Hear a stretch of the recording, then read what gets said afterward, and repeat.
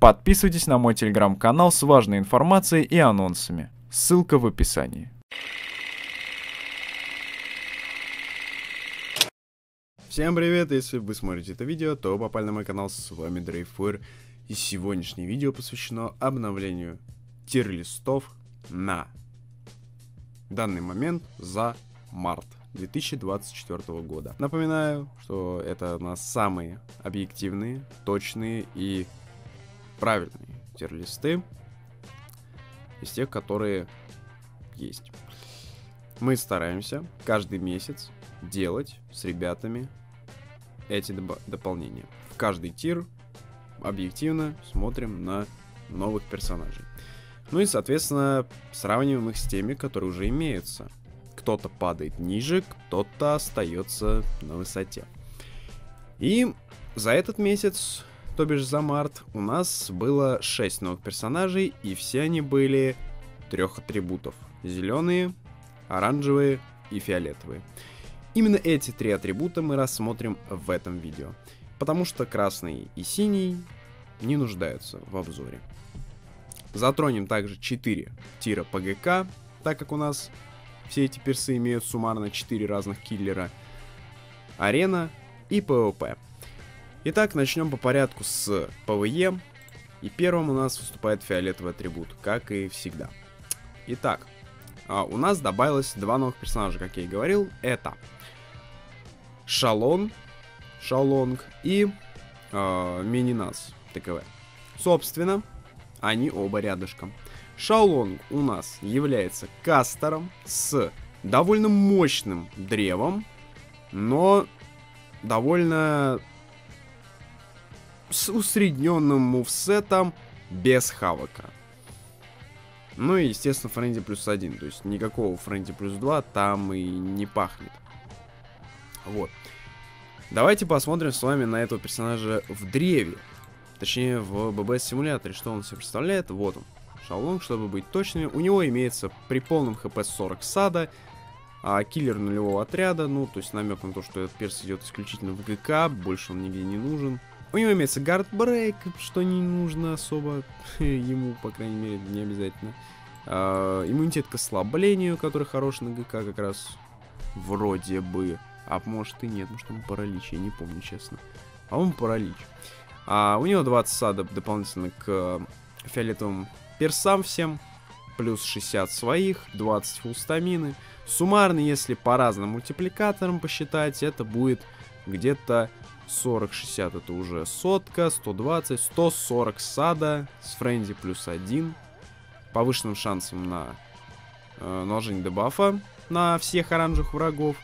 И КДР еще дополнительно влияет. Также дополнительный урон по кровотоку 60%. Благодаря вот этим вот двум скиллам будет очень много урона. Нету радиусов. И мувсет у него для дальника немножко непонятно мне, зачем ему дали вылет. Типа ближний прием сделали дальнику.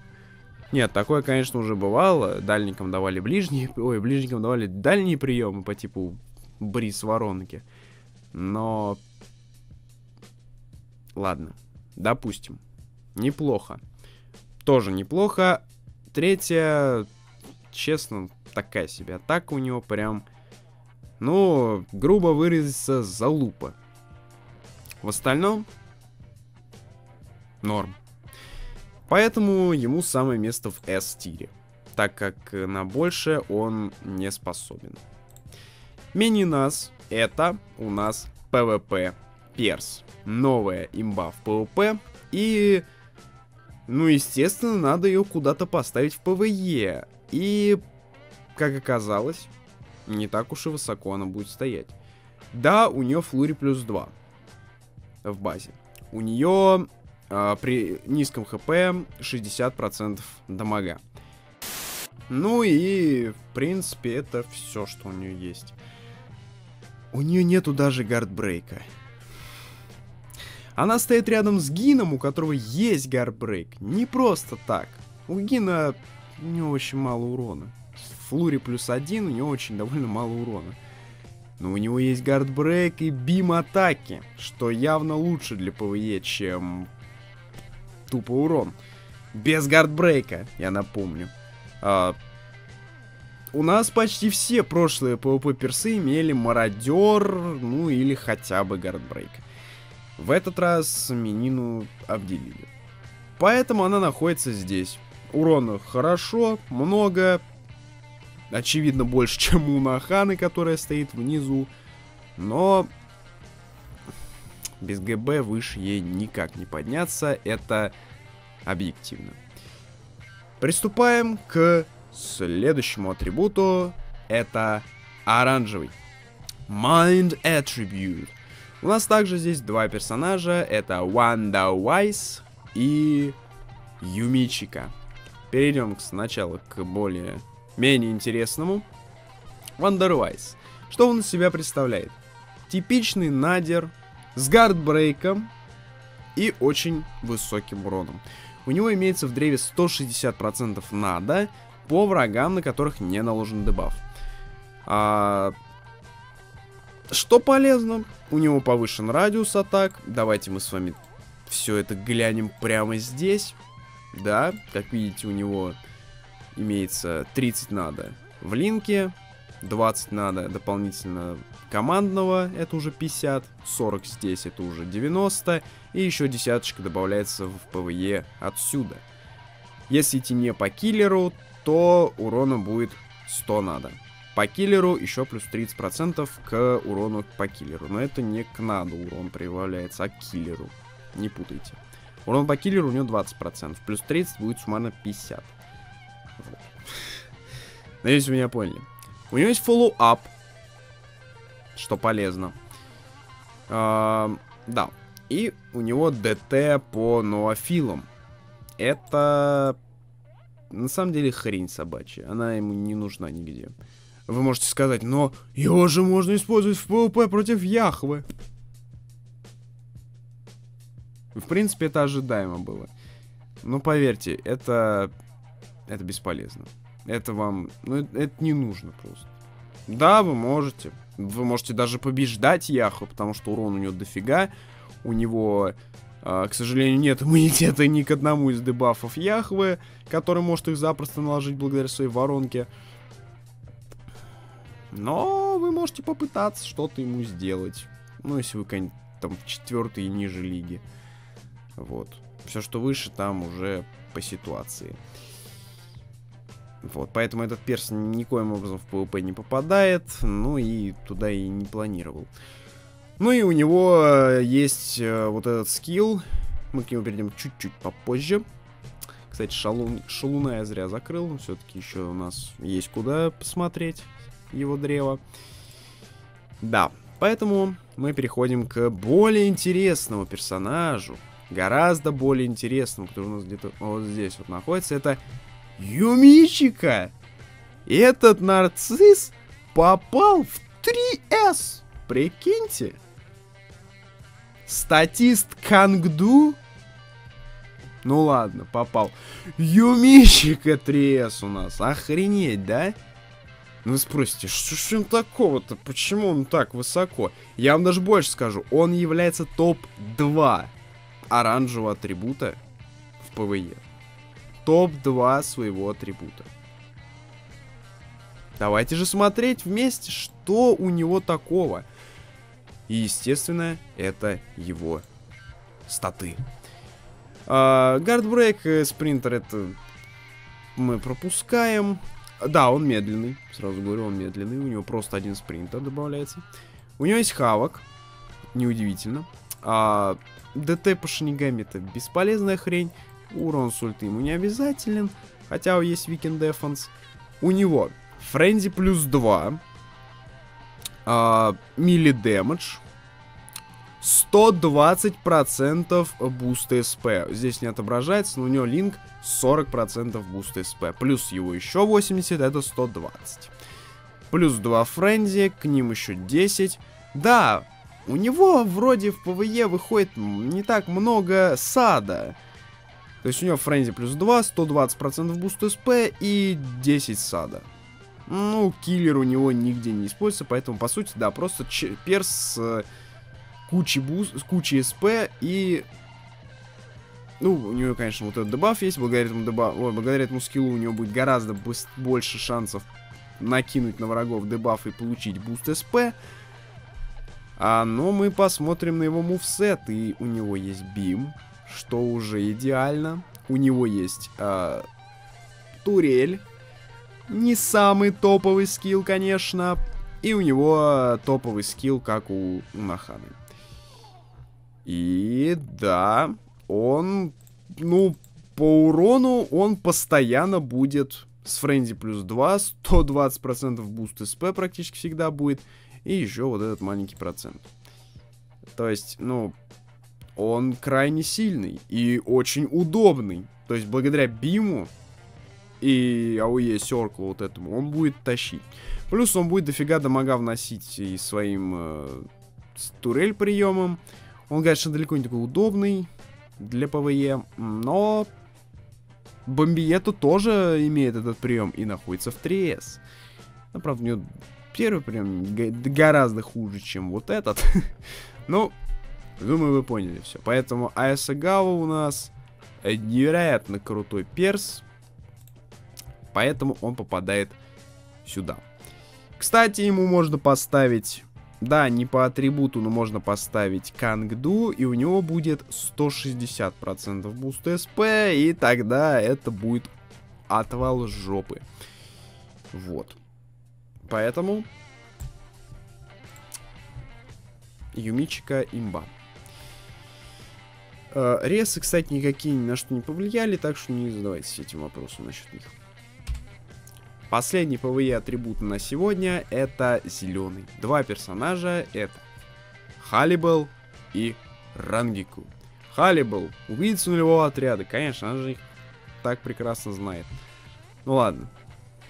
Опять у нас э, рез Халя. Все уже давно поныли мы. Но вроде успокоились. Итак, этот персонаж обладает довольно хорошим древом, так как вы увидели, что она попала в 2С. А, естественно, мидманс на 3С не потянет. Ну, по крайней мере, не ТКВшный мидманс, как был, вот, например, с S-нотом и Бьякой. А, она имеет хавок, что уже хорошо. Это намекает на дерьмовый мувсет, но не спешите разочаровываться. У нее из урона всего лишь 160 сада, то есть у нее урон по бездебафным. А, есть Guardbreak, Spears, Iron Skin и Hit Hidden Enemies, то есть третьих скилла есть у нее. Это супер. Фарм, КДР. Здесь у нее дроп супербан. Она фармер, мощный. И давайте взглянем на ее мувсет. Не самый дерьмовый шейф, бим и фуллскрин. Отличный. Ну ладно, хороший мувсет с высоким уроном для 2С. У нас с таким же уроном находится Тенса Зангетсу. Да, у него лучше мувсет, естественно, у него Beam Circle Full Screen, это явно лучше, гораздо лучше, чем Шейф в любом его исполнении. А, ну, Circle, конечно, будет лучше, чем Beam на втором, но, тем не менее, он тоже практичный, очень даже. Поэтому персонаж ну, заслуженно стоит в 2С. Конечно, не топ-1, естественно, но она в 2С. Вполне заслуженно. Да. Был бы у нее Френди плюс 2 и 160 берста, да, она была бы в 3С, потому что у нас есть Синджумару, который именно так. Да. И перейдем сразу к Рангику. Рангику, да-да-да, вот она, супер изи. Um, Честно, персонаж получился довольно проходной, но, тем не менее, заслуженно сидит в все-таки в 3С. А, конечно, она там, ну, практически на нуле. Ой, ну как, ну практически с краешку. Она тесняет только Бомбиету. То есть она стоит за Айзеном. Айзен все равно остается непоколебимым. Вот. Давайте же рассмотрим, что в ней намешали KLab Games. У нее 40 SAD а при full стамине. А, также у нее есть... А, ну все, да, 40 SAD а при full стамине у нее. 2 frenzy. А, буст SP. и повышен урон по дебафам.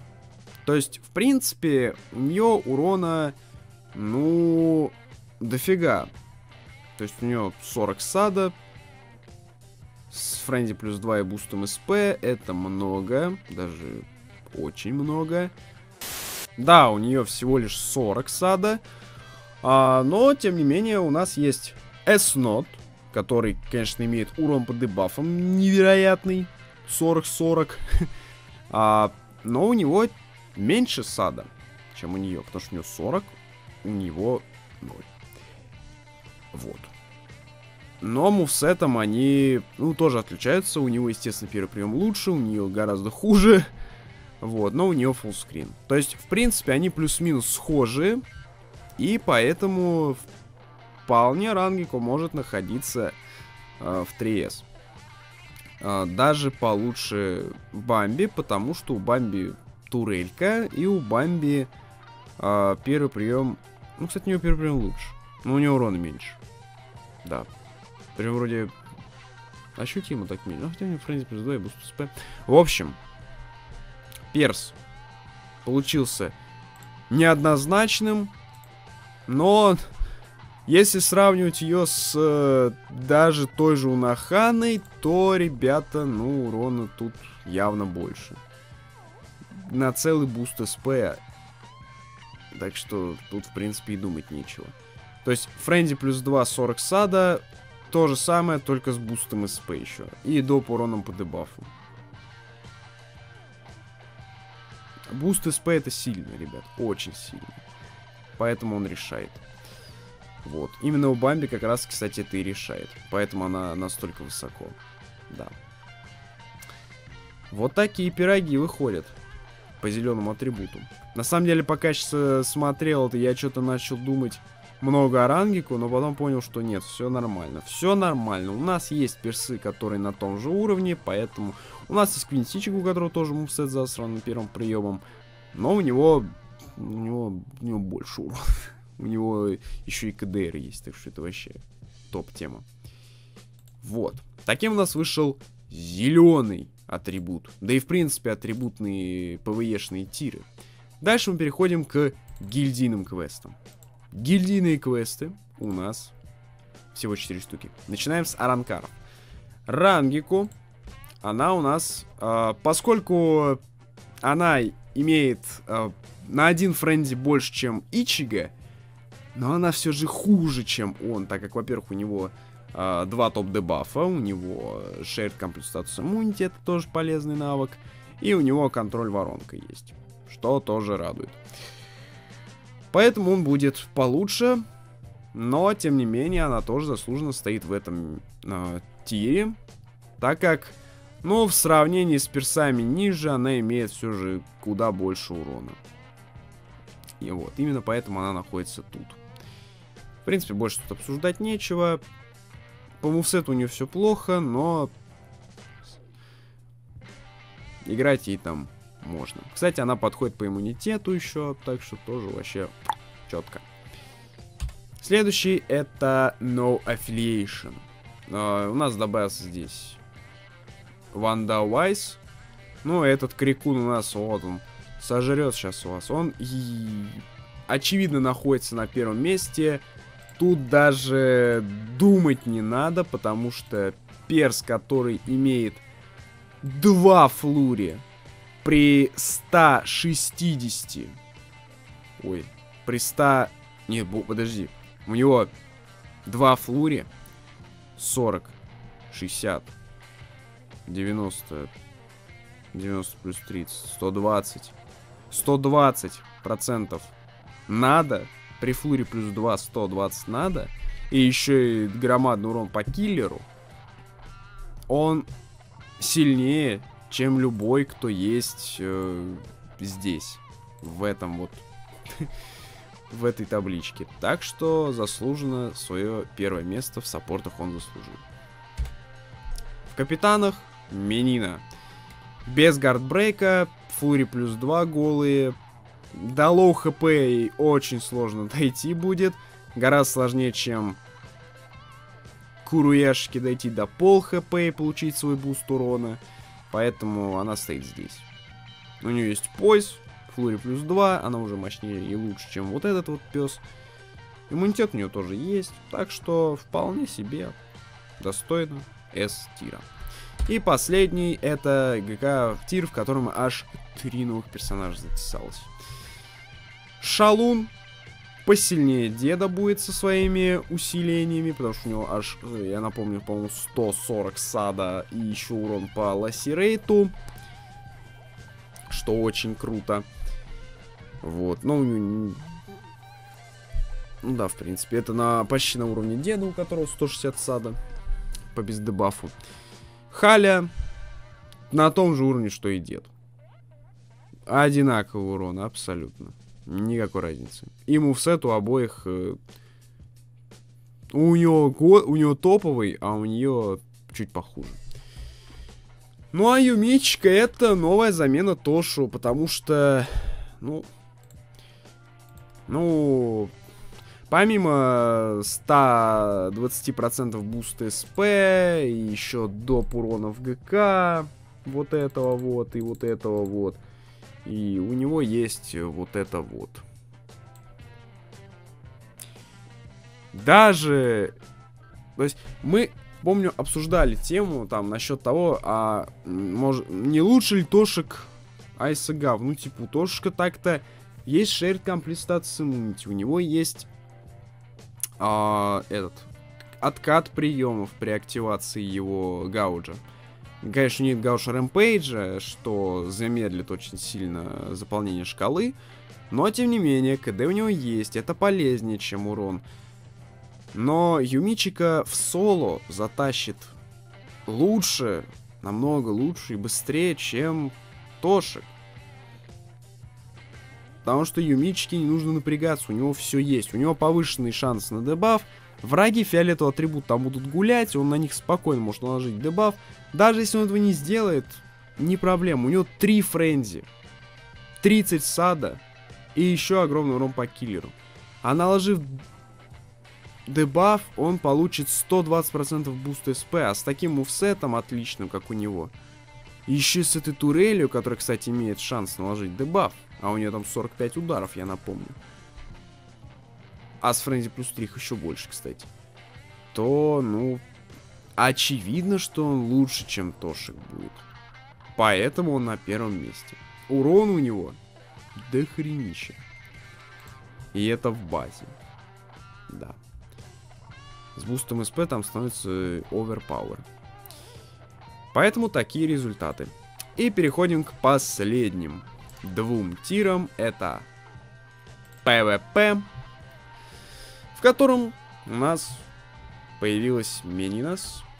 Да, я думаю, никто не будет задавать вопросов, почему она на втором месте. Но если вдруг у вас проснулся такой вопрос, а поскольку это видео с обзором тирлистов, я не могу не сказать, почему она все-таки попала на второе место, а не на первое, как, наверное, кто-то мог подумать. Во-первых, у Арихимы надбим, как минимум.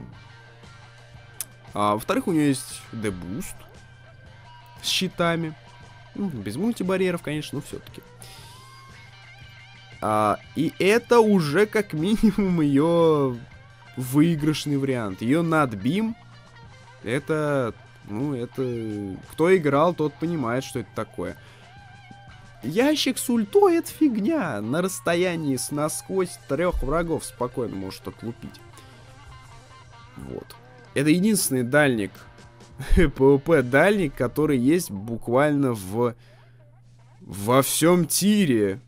Ну вот, вот знаете, где крайний дальник э, присутствует? Во, вот он, в Б сидит. Вот она. А, ну, ну ладно, у Лькиоров. А, этот вот. А, А. А тир. А. Понимаете? В А тире у нас дальник сидит с замедлением и 20 NAD а. А этот еще и с beam ом. Она, очевидно, будет лучше. Да, у этой на 10% больше урона на low HP. У нее на mid HP уже 50% NAD а, а у нее на low 60. Вот. Но 10% или над бим с дебустом и барьерами я думаю, все-таки лучше то, что у нее. И поэтому спешу сразу ответить на ваш вопрос, какая же теперь самая метовая тима. Объясняю. Арихимы, Менинас, Менинас, неважно, и Яхве. Дебуст имба, мощь имба и супербуст, тоже мощный. Вот и все. Вот вам имба тима. Если у вас нету Орихимы, тогда берите деда. Если у вас нет Менины, берите Ишина.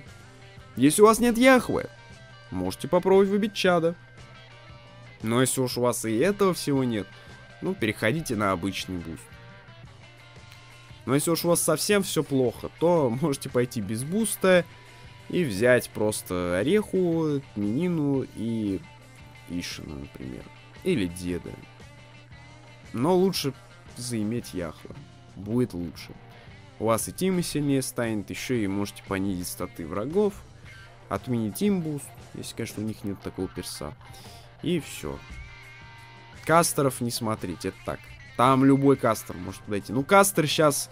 Не... Кастеры это мертвые PvP. Это мертвый вариант. Они здесь нужны чисто для галочки.